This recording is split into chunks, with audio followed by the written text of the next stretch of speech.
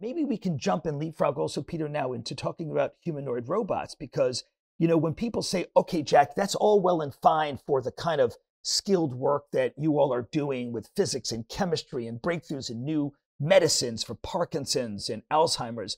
But how about these distribution centers and warehouses? How about light assembly? What are we going to do there in terms of hours and so on and so forth? What I would say is, well, hold on to your seat, Peter, because big change is coming. People are underestimating, underestimating the impact of humanoid robots. It's moving very, very quickly. Amazon has got a pilot right now with three or four of the robot companies. We'll see announcements, I'm sure. I have yep. no information from Amazon, but I'm sure we're going to see announcements in the next 18 months from yeah. Amazon. I actually know robots. a lot about that. I just wrote a report called the Metatrend Report, um, and folks can get it at metatrendreport.com. Uh, Excellent. Which is, I looked at uh, probably about 40 of the humanoid robot companies uh, and reported in more detail on 16 of them. And the predictions, right, there are billions of dollars flowing in. Obviously, Optimus 2 and Optimus 3 from Tesla. We've got Figure AI with Figure 2 and Figure 3 coming online right now. We've got uh, Apollo. Uh, we've got Digit um, from Agility. These are robots that are working in industry today. Um, the numbers folks should realize are the following, right? These are you know two arms, two legs, ten digit uh, robots able to do most all things. They're enabled by multimodal AI, meaning they can see and understand what they're seeing. They can have a conversation with you, understand what you're asking for, communicate back.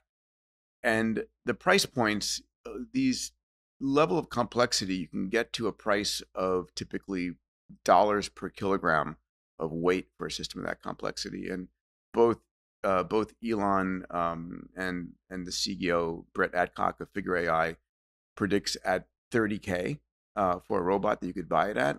Translation, that's that's leasing it for 300 bucks a month, uh, which is 30, you know, 10 bucks a day, 40 cents an hour. What's it like if you have a minimum wage job at 20 bucks an hour and you're competing against a robot working 24 7, no drug testing, no problems with their boyfriends or girlfriends? I think we're going to start to see a lot of those those jobs um, you know, sort of transformed into some other job.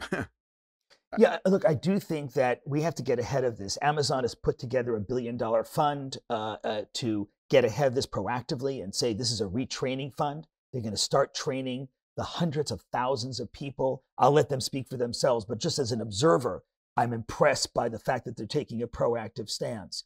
I'm sure Walmart will be doing that pretty soon. Walmart's got 2.5 million people in that company of which 2 million are folks working in the warehouses and distribution centers. And we know where that's going. When we look at Zara and other companies who do fast fashion and have factories in just five spots on earth, what's going to happen is you're going to start seeing uh, basically new factories pop up in all kinds of places that didn't pencil out before, but now pencil out with humanoid robots. And guess what? Those plants, those factories will be very near the main street where they're going to sell those goods, taking fast fashion from 10 weeks now down to maybe five days, right? That's sure. going to be much faster fashion. I know people are very excited about that.